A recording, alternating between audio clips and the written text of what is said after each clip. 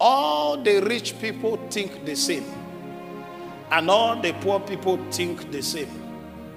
You are not poor because of where you live, you are poor because of how you think.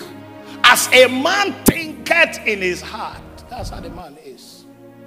Out of the abundance of the heart, the mouth speak. The moment you start speaking, no money.